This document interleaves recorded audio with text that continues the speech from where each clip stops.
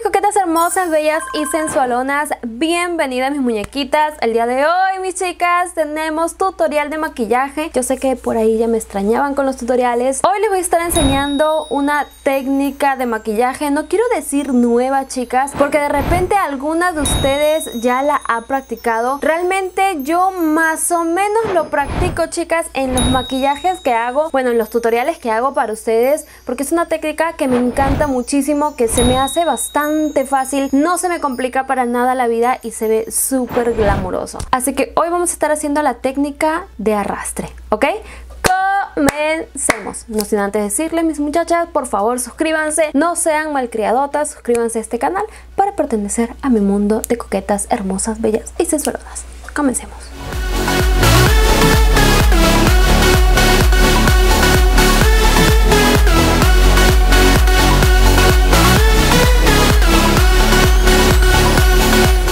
Muchachas, como ustedes están viendo, pues yo ya tengo las cejas listas. Me hice la técnica del jabón el día de hoy. Si no lo han visto, pasen por el canal, ¿ok? Ahora, eh, voy a estar aplicando un corrector, mis chicas. Esto es indiscutible, mis amores, ¿ok? Yo siempre aplico corrector. Ustedes saben que me funciona mucho más que un primer, pero si a ti, o sea, si eres experta con los primer, puedes utilizarlo. Para mis chicas que son principiantes, háganlo con un corrector que se les va a facilitar mucho más la vida. Yo no soy tan amante de los primer, chicas, porque siento que no cubre mucho la pigmentación del párpado. Ustedes saben que por aquí tenemos zonas eh, verduzcas, oscuras, rojizas, eh, amoratadas. Entonces, siento que lo mejor es un corrector, ¿ok? Aparte que también, pues, los primer tienen algo de silicona, lo cual a mí no me gusta mucho trabajar, chicas. Se me complica demasiado. Es por eso que yo, para principiantes, aconsejo el corrector.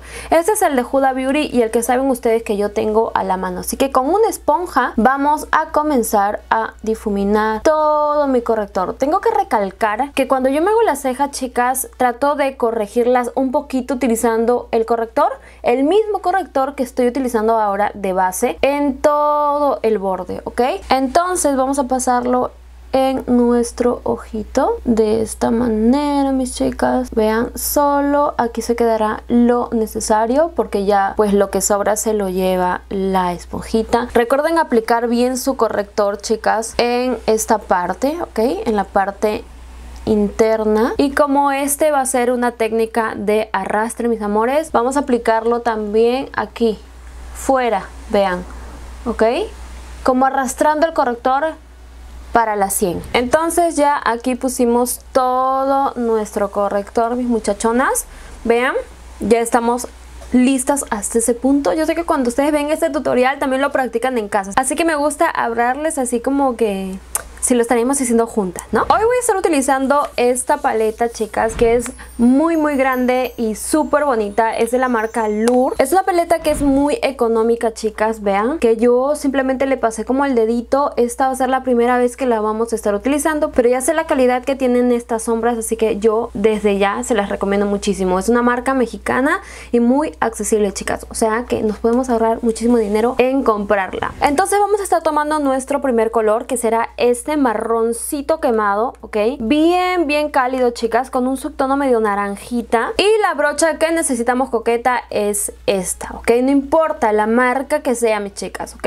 Esta es una brocha que te va a facilitar muchísimo el maquillaje. Es una brocha de difuminar, grandecita, muy esponjosita, con los pelitos bastante sueltos, que te va a ayudar muchísimo a hacer movimientos circulares, de parabrisa, extender la sombra, ¿ok? Entonces, esta es la de Sigma, por cierto, mis muchachas, tenemos código de descuento con la palabra JDOL, ¿ok? Vamos a tomar entonces un poquito de sombra poco nada más chicas recuerden que es un tono de transición y lo vamos a poner en la parte de nuestra cuenca de esta manera poco a poquito. Siempre, chicas, para este tipo de técnica más glamurosa y en donde vamos a estar aplicando sombra clarita en la parte del inicio. Cuando aplicamos la sombra de transición vamos a hacerla de una manera súper sutil en el inicio, ¿ok? Vean, súper, súper sutil. Pero ya cuando vamos llegando en la mitad y la parte de fuera vamos sí aumentando la intensidad del color ¿cómo lo vamos a hacer? de poco a poquito chicas no vengan simplemente y se den el manchón ¿ok? de poco a poquito vamos poniéndolo de forma de parabrisa o de vaivén, como ustedes lo quieran decir, y luego con movimientos circulares hacia arriba. Recuerden que la sombra siempre tiene que tener esta forma. ¿Ok? Para esta técnica. Así que vamos a darle movimientos circulares y comenzamos desde ya a hacer la técnica del arrastre. ¿Cuál va a ser? Es ponerla en este punto y comenzarla a arrastrar, chicas, hacia afuera. Vean, como que nos vamos en dirección a la parte de la 100 poco a poquito vean les va a encantar muchísimo este maquillaje ya que llegamos a este punto lo que vamos a hacer es cerrarlo chicas es decir concentrar también la sombra en esta parte de aquí del canto externo del ojo y de igual manera de manera súper sutil comenzar a arrastrar la sombra hacia la parte de la sien. ¿Qué es lo que queremos lograr con esta técnica? Que los ojos se vean sensuales, chicas. Que se vean súper llamativos, muy alargados, como ojitos felinos, ojos gatunos, algo así. ¿Ok? Así que, pues seguimos aquí. Ustedes ya saben, el secreto es simplemente difuminar y difuminar. Vamos aumentando un poco más el tono y vamos a seguir arrastrando esto. ¿Ok? Más o menos hasta aquí, chicas, hasta donde está nuestra siempre. vean que yo lo hice de manera degradada, que no se ve como tan, tan exagerado. Bueno, sí se ve un poquito exagerado, pero no se ve tan marcado. ¿Ok? Esto se ve hermoso, chicas. Se ve lindo, lindo. Normalmente, como yo les digo, no es la primera vez que yo lo hago, lo he estado haciendo antes. Ustedes saben que no me gustan los maquillajes cortados, ¿ok? No son de mi preferencia, pero no lo hago tan alargado como en esta ocasión. Hoy sí lo vamos a hacer muy alargado. Ok, mis chicas, vamos un poquito me faltó, creo que aquí. Sí, me faltó un poquito aquí, chicas. Pero recuerden que pues los ojos también a veces no son iguales y nos juegan una mala pasada, ¿no? Entonces, con un solo color, miren lo que ya hicimos. Vamos a tomar ahora el segundo color. Vamos por este marrón que es más oscurito, ¿ok? Y vamos a estar tomando otra brochita de difuminar, pero más pequeña, ¿ok, chicas? Esta también es la de Sigma. ¿Qué vamos a hacer con ella? Venir y ponerlo aquí. Ahora sí que solo en la parte del canto externo hagan de cuenta que están haciendo un pequeño puntito aquí y que este puntito van a extenderlo un poco por aquí y un poco por acá y van a comenzar a difuminar chicas vean para darle un poco de profundidad a esta zona un poco y vamos a seguirle dando movimientos circulares ok movimientos circulares, circulares, circulares, sin perder esta forma de hoja que ya tenemos, ¿ok? No queremos perderla, mis muchachas. Despacio, muy, muy sutil. Recuerden que ya estamos trabajando con sombras negras y son un poquito traicioneras. Ok, mis chicas, ahora seguimos difuminando, ok, dándole siempre más concentración al, al canto externo y luego haciendo la técnica del arrastre, ok. No tanto como el primer color para que exista una degradación tanto en la parte de arriba como en esta parte ok lo que sí les quiero aconsejar muchísimo es que pongan el tono anterior ok encima o mejor dicho en la parte que están degradando el tono oscuro para que se vea mucho más bonito ¿ok? Yo siempre lo digo, chicas. Hay muchachas que están expertas en el maquillaje, pero hay otras también que están recién comenzando. Así que recuerden siempre, si van a degradar un color, por ejemplo, marrón y negro, chicas, comienzan con el marrón, aplican el negro, comienzan a difuminar y luego pueden aplicar encima el marrón para que se vea mucho mejor la degradación. Entonces hasta este momento vamos así. Y ahora vamos a estar utilizando este pincel de forma de lápiz. Este es el E45 de MAC que me encanta muchísimo.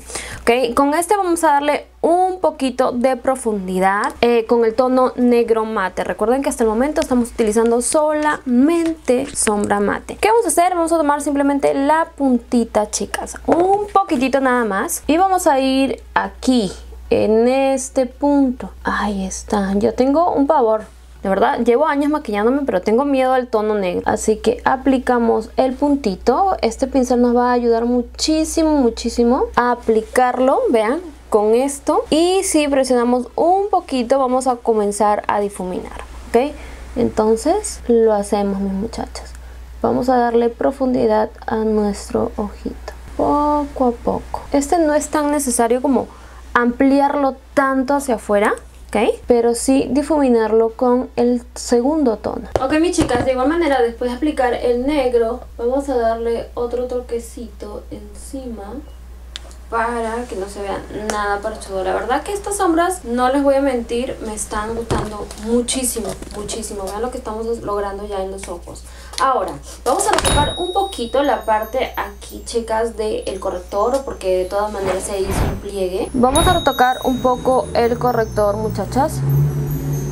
Ok en esta parte también. Y lo que vamos a estar usando a continuación es un pigmento blanco chicas este pigmento es de la marca JC Cosmetics y también tenemos cupón de descuento mis amores. Me dieron un cupón de descuento con la palabra JDOL también en mayúscula para que sus compras sean mucho más económicas. Este es un pigmento blanco y suelto que me da miedo utilizarlo, el cual lo voy a estar aplicando con este tipo de brochita de esponja, ¿ok? Que podría ser con este o posiblemente con esta brochita, ¿ok chicas?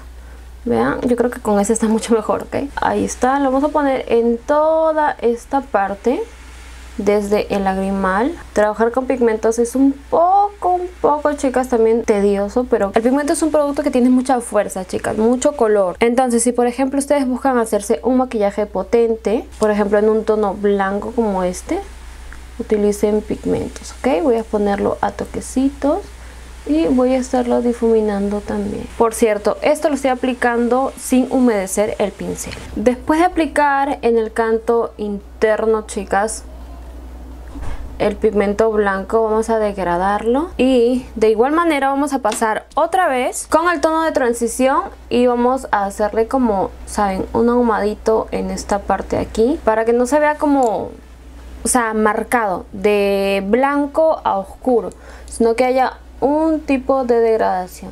Yo siempre les voy a estar aconsejando muchachas los pinceles que son esenciales independientemente de la marca cuáles son los esenciales para hacer una mejor técnica de maquillaje, ¿no? Esta brochita nunca jamás de la vida les debe faltar a ustedes.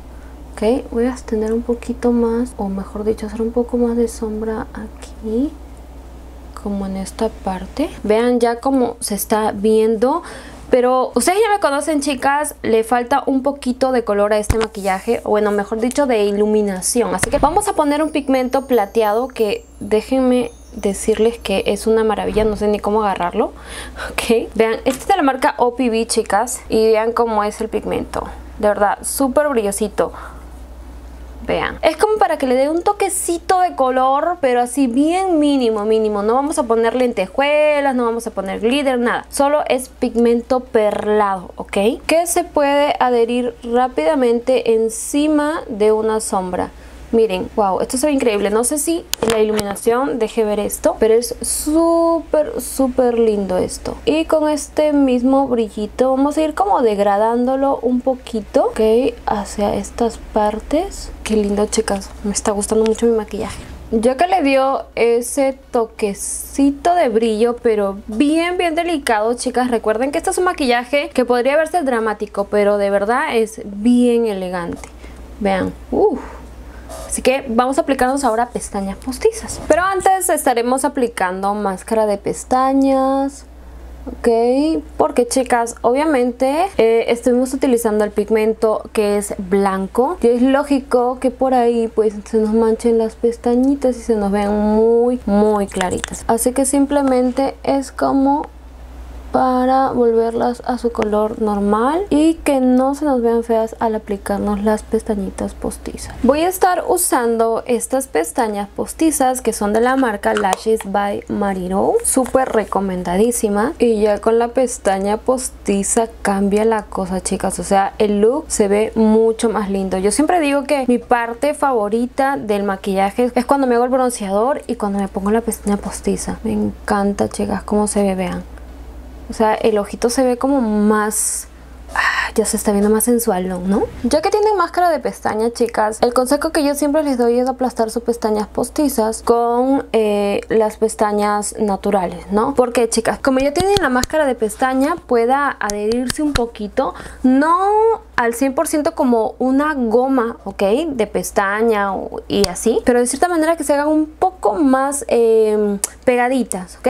Para que cuando miremos de perfil simplemente tengamos una sola pestaña. Vamos a estar pasando ahora este lápiz marrón en la línea de agua y este es de la marca Make Gift, chicas. Eh, no quiero pasar un lápiz negro Hoy quiero darle un poco de diferencia porque siempre andamos nosotras con el lápiz eh, clarito o el negro, pero recuerden que ustedes pueden pues, tener diferentes opciones también, chicas, ¿no? Pueden aplicar marrón, grises y si están haciendo un maquillaje colorido pues cualquier otro tono no lo que yo hago con los lápices me encanta que sean cremositos como en esta ocasión porque aplico en la línea de agua y luego como que Bajo un poco hasta la raíz de las pestañas inferiores para crear una base cuando aplique las sombras. Bueno chicas, como ven acabo de aplicarme base, corrector, eh, acabo de quitarme imperfecciones y obviamente polvo translúcido así que vamos a continuar con la parte inferior del ojo vamos a estar necesitando un pincelito suelto pero pequeño como este y vamos a estar aplicando nuestro color de transición pues aquí en esta zona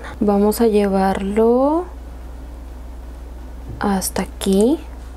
No quiero tocar mucho la parte del canto interno porque ahí vamos a aplicarle más tono blanco pero más o menos vamos a irlo poniendo así chicas vean. Y siempre con movimientos de parabrisa aquí ok cuando ya lleguemos a esta parte lo que vamos a hacer es subir para conectar ese ahumado alargado y muy intenso que hicimos para enviarlo hacia afuera.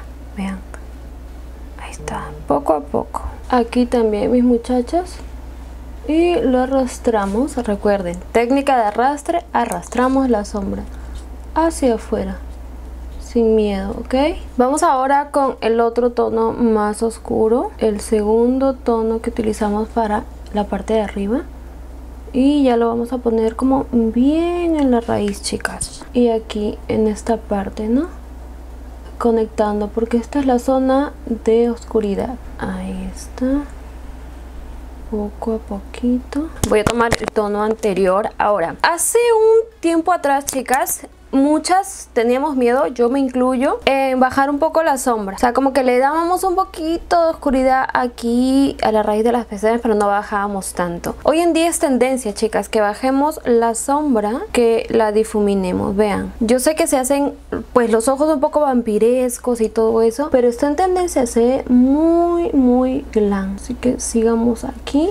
Nos falta ya el último color que es el negro. Y obviamente que para eso vamos a tomar una brocha más pequeñita. Y ahora sí nos vamos con cuidado simplemente a ponerlo en la raíz para que le dé esa oscuridad. El mismo degradado que hicimos en la parte de arriba lo vamos a estar haciendo en la parte de abajo para que se vea hermoso. Lo que vamos a hacer ahora es aplicarnos máscara de pestaña para acabar completamente con los ojos. Ahí está. Vamos a darle un poquito de dramatismo aquí. Bueno, ya para el paso final, chicas, vamos a aplicar eh, el pigmento perlita, como les dije, en la parte del lagrimal. voy a extender un poquito y voy a poner aquí un poquito nada más en este inicio. Vean, queda mucho más lindo, chicas. Voy a hacerlo de igual manera aquí, de poco a poco. Uf de verdad, a pesar de que es dramático, se ve muy glamuroso. Bueno, chicas, ya eh, me apliqué lo que es el contorno detrás de cámara. Lo que sí hice ahora, eh, y bueno, no lo estaba grabando, pero dije, es necesario, ¿ok? Voy a estar tomando el color de transición, chicas, y lo que voy a estar haciendo es arrastrar mi color hacia donde, pues, yo aplico mi contorno para que este se pierda con el contorno, ¿ok? Vean, de esta manera, Vamos a hacer lo mismo de este lado. También poco a poquito. Uh, me está gustando. Voy a estar aplicando un iluminador que hace años, chicas, de años de la vida no lo utilizo. pero todavía está vigente. Este es Soft and Gentle de la marca MAC. Que bueno, estos fueron uno de mis primeros iluminadores, chicas. Ok, voy a ponerlo en las partes altas de mis pómulos. Ahí está. Uh, este maquillaje me está gustando mucho. Para que se vea más glamuroso voy a ponerme este gelcito iluminador. Solamente en el punto más alto de mi pómulo, chicas. Para tener ese glow, vean. ¿ok? Bueno chicas, ya que prácticamente está acabado el maquillaje, vamos a estar utilizando un labial.